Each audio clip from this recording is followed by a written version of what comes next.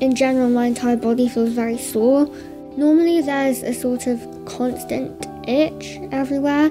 Often, the itch can lead to you rubbing it and then you actually rub your skin off, and that obviously creates more wounds.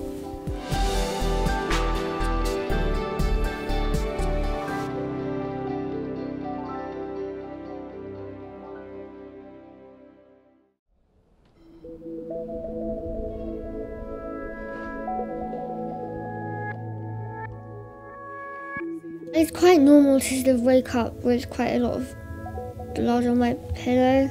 I bleed a lot overnight just from sleeping.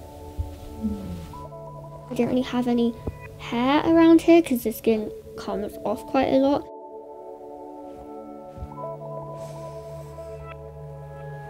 Oh no, that looks terrible. I'll just try this.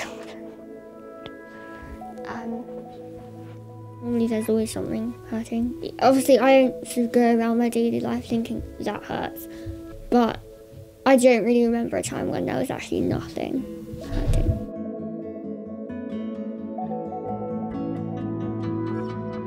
Epidermolysis bullosa is a skin condition that sort of causes the skin to lose its glue that sort of holds it on.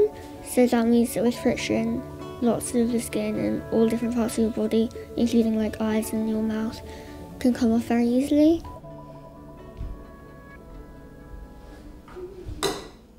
I have recessive dystrophic EB. Recessive dystrophic affects the eyes and the mouth and the throat. So this means that I need to put eye drops in to make sure that my eye doesn't stick to my eyelid and then cause an abrasion.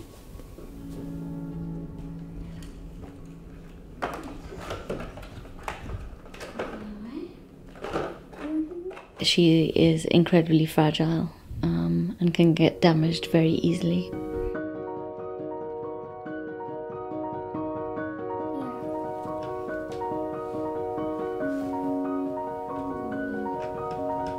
So it takes about one and a half hours to do dressings in the morning and then two in the evening. I think it takes longer in the evening because I've still been walking around so there are more blisters on my feet. I normally wake up while mum's doing my dressing, so like my arms and stuff. And how, what time do you wake up? about six? Yeah, six, about six. And started about half past six. Um, sometimes it slips. We're always late for school. There hasn't been a day since Sohana was born that we haven't had to prick a blister. And I have to say that when I open up the packet and hear the crinkle, I think, oh, this means another blister to prick. But I can't imagine what that's like for Sohana, who hears that and knows that a needle's coming her way and there's nothing she's going to be able to do to really escape having it done. So. Yeah, so pricking blisters is one of the most painful parts of the dressing process. Like blood blisters, so they're very, the top is like very thick, isn't it? So it's very difficult. You have to prick them lots of lots of times. Um, so that's painful.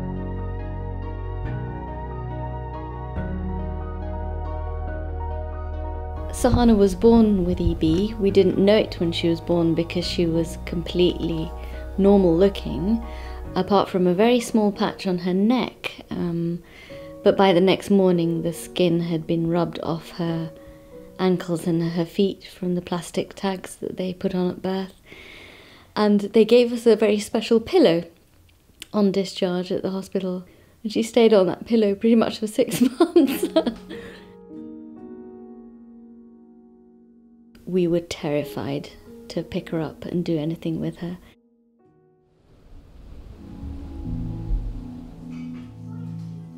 So when I go outside, sometimes people sort of ask questions and like everyone stares a lot.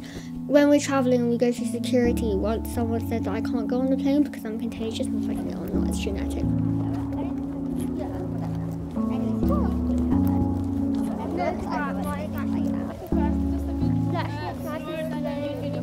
Quite funny in a way, it's just how I deal with the problems, I just see the funny side of it. Sohana was never able to ride a bike. She can't really do sport. She's never really had the pleasure of climbing a tree or even running can be quite painful. She'll try and run, but of course, we didn't want her to fall over. Everything I can't do, I kind of wish I could because obviously no one really likes to have those kind of limits. Hi, how are you? Thank you. Normally, when I go out with my friends, I just do normal things. When I spend time with friends, we can just do anything that just not sport, basically. That was a lot of fun actually. It was. And we did get some work done. I'm sorry. Not really, but you know.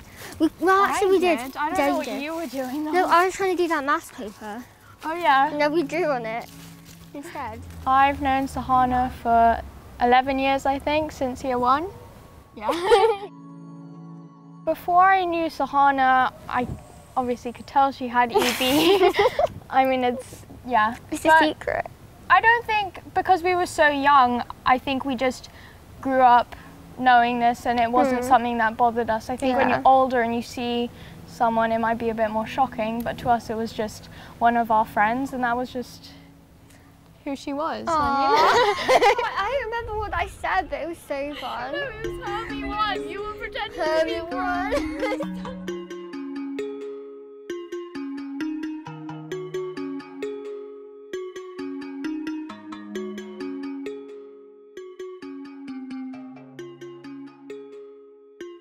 In the space of time that we've been fundraising, we've managed to raise over five million pounds for EB research, which is good, but quite frankly, it's not enough. I don't think just because a treatment isn't a cure, it doesn't mean it shouldn't be sort of pursued because it can improve the lives of people with the condition so much. EB causes painful blisters that need to be pricked with a needle. Please play, e- play EB Pop for Cure EB to make the blister stop. Oh my god! I don't think you ever really get completely used to pain.